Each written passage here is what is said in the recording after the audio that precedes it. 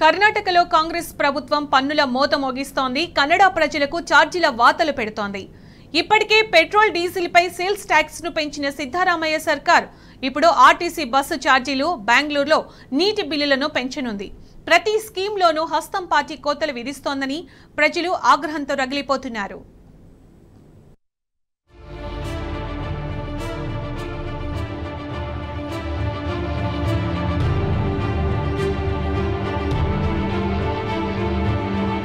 ఐదు గ్యారంటీల పేరుతో కర్ణాటకలోకి అధికారంలోకి వచ్చిన కాంగ్రెస్ పార్టీ ఆ రాష్ట్ర ప్రజలకు చుక్కలు చూపిస్తోంది. ఇప్పటికే పెట్రోల్ డీజిల్ ఇతరత్ర వాటిపై పన్నులు పెంచేసిన సిద్దరామయ్య సర్కారు ప్రజలకు మరో ఛార్జీల వాత పెట్టేందుకు సిద్ధమైంది. రాష్ట్ర రాజధాని బెంగళూరు నగరంలో నెలవారీ నీటి బిల్లులను పెంచనున్నట్లు డిప్యూటీ సీఎం డీకే శివకుమార్ సూచనప్రాయంగా వెల్లడించారు. బెంగళూరు నీటి సరఫరా సీవేజ్ బోర్డు ఆర్థిక ఇబ్బందులు ఎదుర్కొంటోందని చెప్పుకొచ్చారు.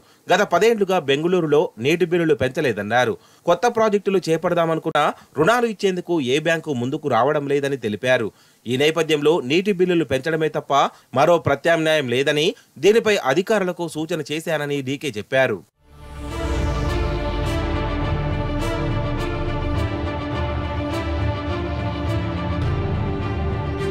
ఏడాదిలోనే కన్నడ ప్రజలకు కాంగ్రెస్ ప్రభుత్వం పలు రకాలుగా పన్నుల వాత పెట్టింది.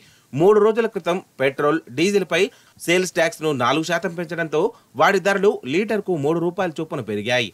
అటు బస్సు ఛార్జీలను కూడా పెంచే యోచనలో అక్కడి ప్రభుత్వం ఉన్నట్టు తెలుస్తోంది.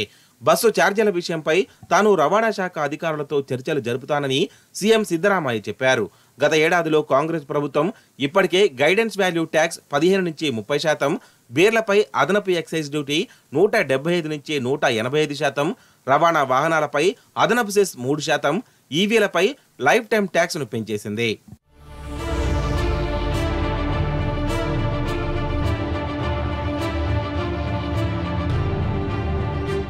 అసెంబ్లీ ఎన్నికల సమయంలో ఐదు గ్యారంటీల ప్రచారంతో ఊదరగొట్టిన కాంగ్రెస్ ఎట్టకేలకు అధికారంలోకి వచ్చింది.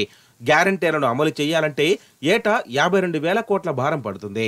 దీంతో నిధుల కోసం సిద్దరామయ్య సర్కార్ ఛార్జీల పెంపు పన్ను వసూళ్ళకు తెగబడుతుందనే విమర్శలు పెద్ద ఎత్తున వస్తున్నాయి. ఉచిత విద్యుత్ అంటూ ఊదరగొట్టి ఛార్జీల పెంపునకు తెరదీశారు. మహిళలకు ఆర్థిక భరోసా ఇస్తామన్న గృహలక్ష్మి స్కీమ్కు కొత్త ఆంక్షలు జోడించారు.